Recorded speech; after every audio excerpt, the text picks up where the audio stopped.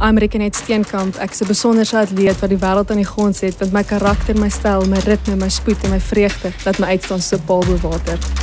I literally talk to myself every single day and I say to myself, you will come back, you will run again.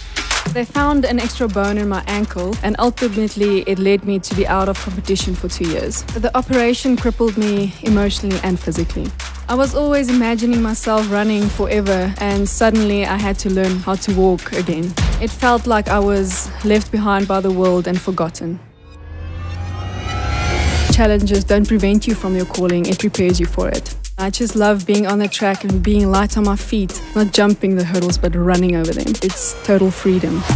I'm the South African 100 meter hurdles champion. So the next step for me is to train really hard and break the South African record. Nothing can keep you from your destiny.